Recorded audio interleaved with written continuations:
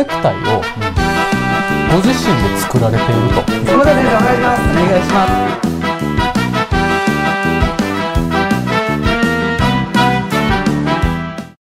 すどうも皆さんこんにちは。こんにちは。こんにちは。今日もあさみはいすごい人来てくれてるでそうなんですよちょっと説明していやあのーまあうちがねうんこのオーダースーツチャンネルを始めて、うん。まあちょこちょことこうチャンネル登録をねしていただいてる方がうん。増えてきたわけですけどはあその中で、はいはい。まあチャンネル登録をしてくださった方なんですが、うん。こうなんていうんですかユーザーネームっていうのですよね、あの YouTube の、うん。あれを見ると超ネクタイ TV やったかな、デザイナーやったかな、うん。デデザイナー TV っていう、あなんやこれってなったんですよ。うんでちょっと追いかけて、そこ行ったら蝶ネクタイをうん。ご自身で作られていると。うん。でデザインされてんねんな。そうなんですよ。で YouTube の動画もチャンネルも作っておられてやってると。蝶ネクタイ作ってると。これは呼んじゃえと それも来てくれたと。いやじゃあそれがあれやんな。一回ね、あの YouTube をあの見ていただいてる方ね、あのリンク貼っておきますんで、はいあのそのあの超ネクタデザイナー TV やったっけ？はいえーのあの一回見てください。めっちゃおしゃれやな。おしゃれなんですよ動画も本当に非常に紹介が先でしたねうんあのそう蝶ネクタイデザイナーの新井健二さんはい。どうも、はい、よろしくおお願いしまますす。すごいですよね。だからあのひらがなで荒井健二さんやもんな。そうなんですよ覚えやすいですよね。アーティスティックなほんで、まあ、うちらも調べていくと、あのー、荒井健二さん、あのー誰がやっておられるのかなということを調べていくと、荒井健二さんにたどり着くわけやけども、あのーものすごいデザイナーということで、ものすごいあのこう僕らから言うたら、あもうちょっとこう、あのー気取った方なんかなと思ってたんですけど、めっちゃ気さくな方やねそうですね。びっくりしたな、これ。いい人いい人俺逆にねだあんだけおしゃれなデザインのあの YouTube であのー、なんていうの写真もこうおしゃれそうやったから、あのー逆にこんな YouTube 出てくれるわけないちゃうっていう話であさみに言うてメールしてもらったらほんまに OK くれたのそうなんですよすぐ返してくれてすごいよな。いやまあでもでもこれね、あの僕が言うてても、ほんまかどうかはあのちょっと証明できないんで、YouTube マジで見てください。すごいかそうなら。んですようん、あの。あの英語からね、あのこう説明入るとこことが多いんですよね、あれ確かね。そうですね。そういうシリーズもありますね。ありますよね、言うたら。うんあれね、歴史をずっとこう自分で調べていきはって、で、イメージしてこんなんがいいという形が、じゃあネクタイを結んだ時に、はいこんな形がいいとか、あんな形がいい言って作りはるんでしょ？そうですそうです。あのーまあ復刻蝶ネクタイというのを今作ってるんですけども、はいまあそれはもう全部その。まあ、大体蝶ネクタイができたのは1850年ぐらいはい。なんですけども、その頃からまあいろんな資料をこう見ながら、はい。まあ、自分でこうあれやこれやとはい。部屋にこもってやりながら、うん。まあ、ちょっと作っていくとはい。感じですね。えその一番最初の発端っていうのはその蝶ネクタイをそこまで掘り下げてあ。の調べたろうと思うきっかけって何ですか？最初はですねあの、まあ、蝶ネクタイの、まあ、自分はデザイナーとしてやっていきたいと思ってきたので,、うん。で蝶ネクタイのいろんな新しい形を作りたいと思ったんですね、はいはい。でそれでまあインターネットでまあ今いろいろ検索できますよね、うん。でまあ英語とかフランス語とかいろんなんで検索したらもうすごい数のデザインがいっぱいもう世の中にあって、はい。で例えば自分がこれは新しいデザインだって発表しても、うん。もうあるやんみたいな結構あると思って、んうんじゃあ一回世の中にどれだけの蝶ネクタイがあって、はいっていうのを全部こう調べたろうと思ったんですよ。でそれをこう調べていくうちに、まあ、年代的な部分で、まあ、150年ぐらいっていうのは遡っていかざるを得なかったんですよ。ああでいろんな資料を見れば見るほどはい、あのなんか変な結び方をしてる人とか、うん。今普通に蝶々結びのそうですよね。イメージしかないと思うんですけど、一般的まあいろんなな結び方をしてたりとか今されてるやつもそうですもんね。そうです、これめっちゃかっこいいですうね、んかっこいいですね。であとまあいろんな着こなしっはいはいはい。ていうんですかね、うんうんうん。まあ、あってでそういうものがあるっていうのに気づいて、はい。これを復刻させた方がまず面白いなと思った。んですよ、ああなるほどでやってみようと思って。いやすごいですよあれは。だって今あのお召しになられてるそのネクタイあるじゃないですか、はい。タイ。はいそれ見てるだけでも俺欲しなるもん。ありがとうござい。ますうん、おしゃれ。うんキンキンがやってるヒョウ柄なんてなんかもうほんまになんか まあ大阪人ってそのイメージやろどっちか言ったらあの蝶ネクタイって。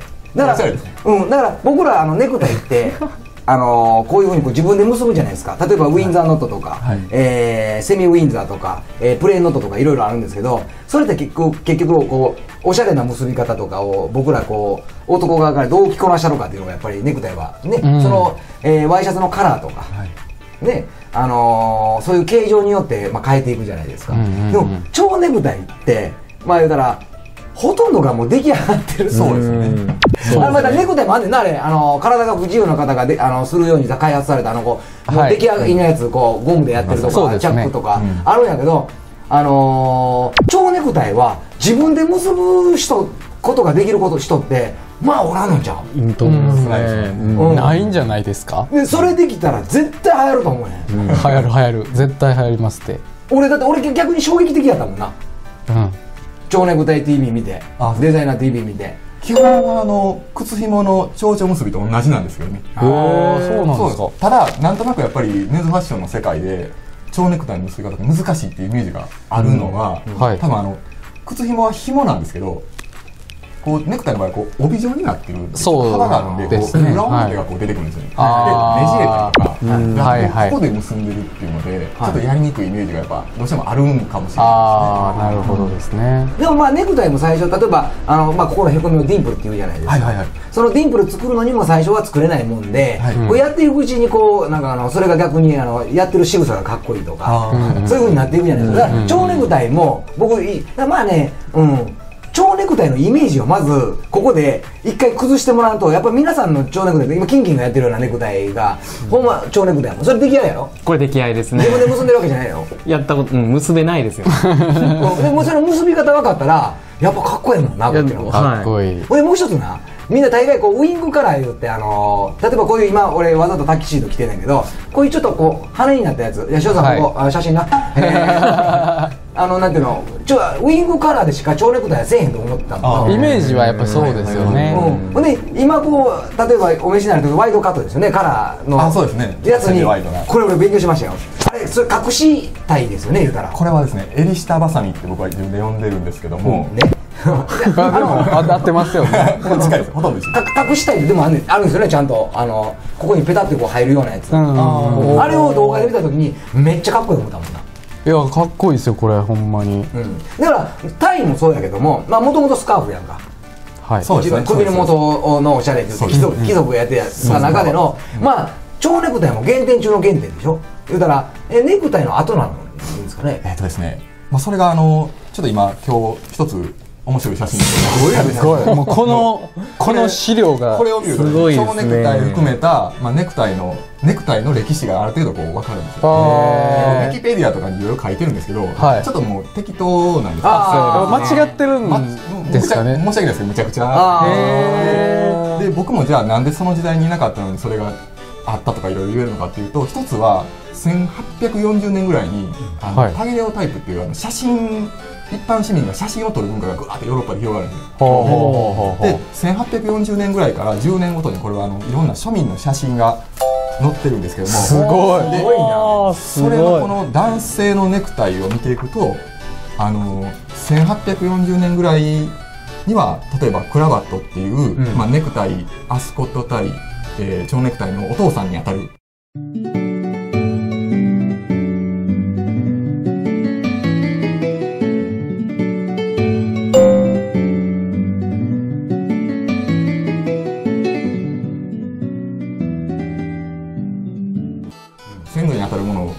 か結ばれてないのに、うんうん。1850年になると蝶ネクタイが出てきて。あでまあ、60年代になるとあのアスコットタまあ、プラストロンっていう言い方もするんですけどが出てきて。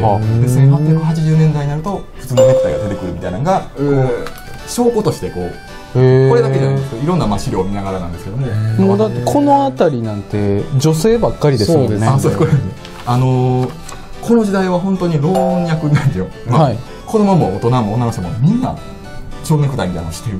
あの多分あのその頃今やお召しになられてるやつもあのそうで結び方もそうですし、はい。あの例えばあの学校制服でそういうこう、まあ、出来合いですけども、はいはいはい。形あ蝶ネクタイ多いですもんね女の人で。リボン系のね。リあそうそうリボンって言いますよね言うたら、うんうんうんでもあれもだから蝶ネクタイのだからあれやろな名残だよな。あーそうですね。そうね。まあうんまあれネクタイの歴史から言ったら古いんですよねかなり蝶ネだからクタイは。ネクタイの次にタイの次に蝶ネクタイなんじゃ。んその次がアスコットなんだよ。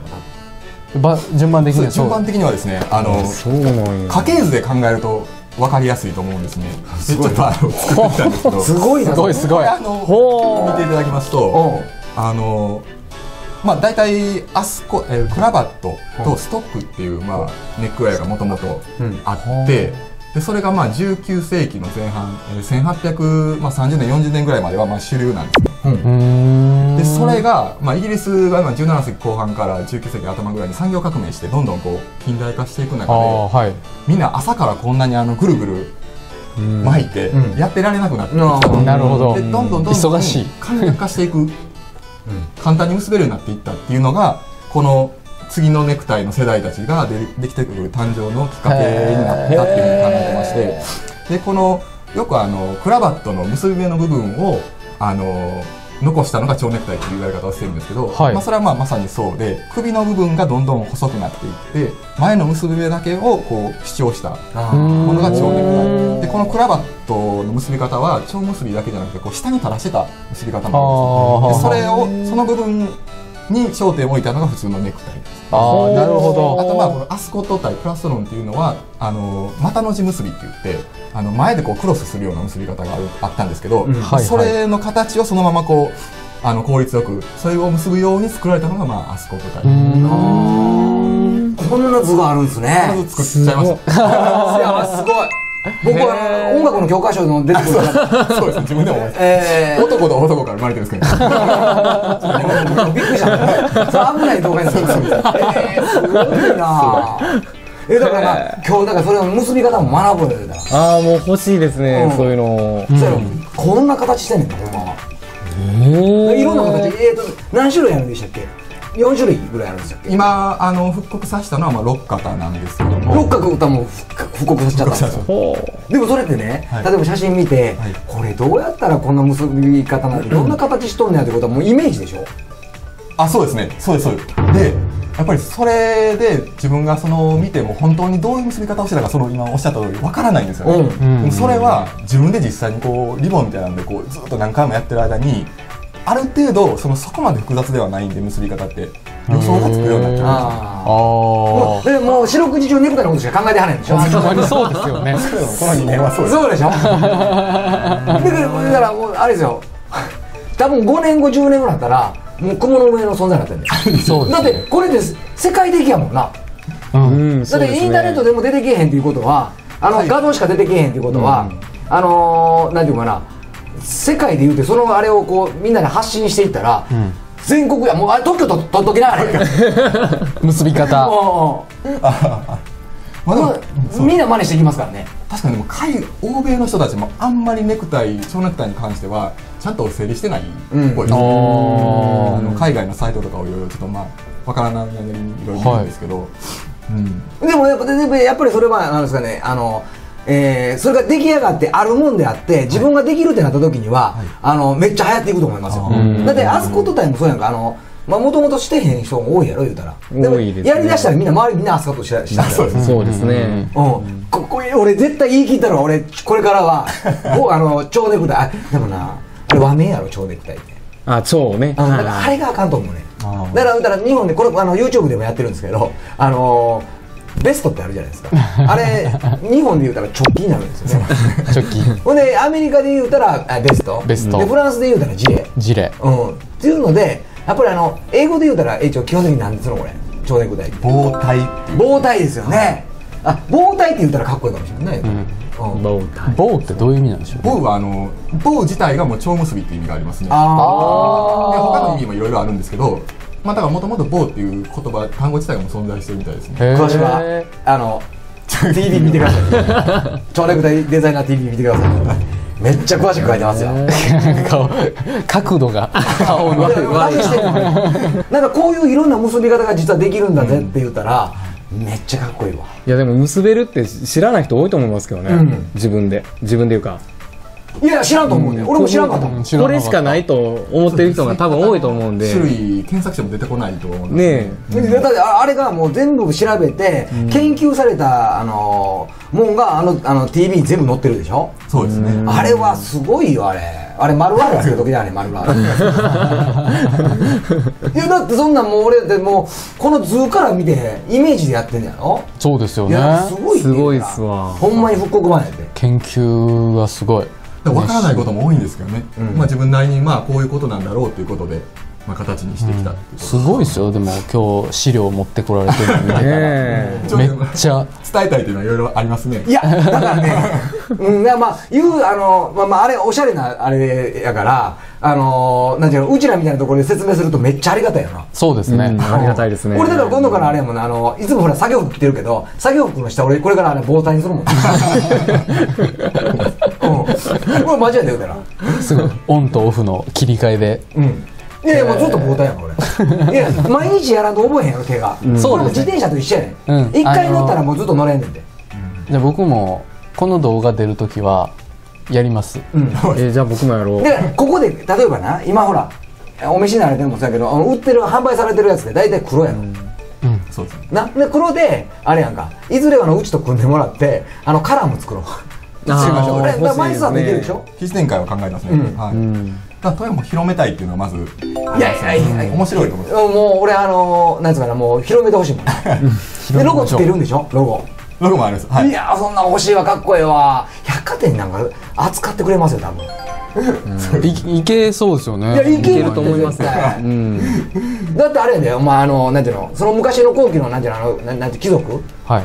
もうあれやんかよ。俺らからで百貨店行く人みんな貴族やからな。俺そうそうそうそう。俺ところかあの日曜日になったらあのあれやもん。あみんなでデパート行こうか言うたらあの1階から上しか見たことない。真ん中見たことない上は昔なあのあのなんていうかな。催事みたいな。最初はほんまや。そんなんお前そこも行かれへんやろお前違うわお前。100円入れたらここで動くやつあるやろ。あ 屋上ですね上って。うんでっかいトランポリンあるやろ。あそこでお前こうやってみんなはさかさうとこねんからで大人はみんな下前真ん中で金あのお金使いに行くんやんかそうやろそうかそうか。いやすごいわ。だ絶対俺俺あれすると思う。だって、おしゃれなカフスとか百貨店みんな買いに行くやろ言うたら、うん特にほんで今あのセレクトショップなんかでもこういうのもあの組まれるとあのいろいろあるじゃないですかセレクトショップみん。な絶対いいですよね。うん、絶対いいですって言ったら。だからこういう動画でもしあのこうファッション関係のことをあの見られたら今やったらタイ タイアップ安つきますぜほんまに。いやいやほんまやほんまに。ほんま今のうちですよね。今のうちはほ絶対んまにそうやと思いますよ。うんほんまですね。蝶ネクタイのデザインは、まあ、今この現状的には蝶ネクタイのデザインするイコール、まあ、テキスタイルデザイン、うん。どういう素材で作るかっていうことを考える、はい。形そのものであったりとか、まあ、結んだ後のことをっていうのも考えていくと、まあ、もっとメンズファッションの幅が広がるね。ネットとかでもネットのなんとか相談とかで、はい。誰かがこうこうこれはこうあるべきだって書いてるんですけど、長い歴史で見ると、全然そんなルールなくて、まあ、あの段階からまあそういうことも言う言われるようになったんだと思うんですけども、まあ、襟形襟のシャツの形にしても、はい。まあ、昔はこのお折り襟っていうよりもこうスタンドカラーの大きいやつそれにルールを巻いててでウィングカラーもあり、まあ、こういう折り襟のレギュラーカラーもあり、まあ、いろんなのがあって、まあ、それだからこれじゃないとこの結び方じゃないといけないとか、そういうまあ変なルールがなくて。ああそうなんだ。あのねだからね日本人の悪い癖なんですよあれ。そうですね。基本的に日本人は物が強くなかったらあかんとか、そっちの方行くでしょ、でルールがなかったらあのできひんので、ファッションを遊ぶっていうことは日本人は元来あのー弱いんですよ。だからその例えばこういうあの例えばこういうスカーフがあって例えば蝶ネクタイが流行らしたらそれがもうこのこの首苦しいとかデメリット言いす言い出して今度外す人も出てくるでしょ、でそいつがカリスマ的存在であればそいつかっこいいやないかってなるんですよ。で不思議なもんで例えば俺がここで外してたらだらしないって言われるんやけどき同い年のキムタクがそれで外してたらかっこいいって言われる言われるんですよ言ったらだからもう元来は何かって言ったらその人がカリスマ性があっておしゃれを遊ぶことさえできたらそれって流行っていくもんね、うん。だから、うん、でそういうこうあの膨大でも例えば今こうあのねあのみんなが知られてなくてもあのドラマでキムタクがやったらめっちゃある。もうあの電話かかってくると思うんると思いますよ。よく言われるのはジャニーズに持っていけという。いやいや、そう思いますよ。あまあスタイリストさんとか、はい。結構あの見てほしいですね割とあ昔の時代劇とかの時代劇というかまあ19世紀の映画とかでも、はい。こうネクタイをしてるんですけども、まあ、NHK さんとか名前出してるかもまあ、ちょっとなんか違うよなっていうのがあるんですよね、当時ああそうなんですか。もう今のなんか感覚でなんとなく作ってるので、まあ、そこまでこだわる必要があるかどうかわかんないですけど。なるほど。あのキンキンがやってるやつあれやろこれ、はい。それもうドーンと飛び出してるやろ言うたら。飛び出してますね。これ中に入れてはるやんか言うたら、うん。入ってますね。うん。それだけでも意味が全然違うもんな。違うあの扇風機みたいなやつもあるもんなああ動画で見ましたね。四つ葉の四つ葉四つ葉っていうのはね幸せ運ぶよ。これをこういうやつをこうやってあの4枚刃にしようねんなあれ。はい。はいはいその通り そう。そうそうそう。そうそうそうそうそう。あれは自分で考えたんですけどあだから別に昔のものを再現するだけじゃなくて作っていったらいいと思うんですよね。ーいやだからファッションですよね、ご視聴ありがとうございます。オーダーチャンネルを面白いと思っていただいた方はぜひチャンネル登録をよろしくお願いいたします。スマホの方は動画の概要欄から PC の方はこちらにあるボタンからチャンネル登録をお願いいたします。ぜひよろしくお願いします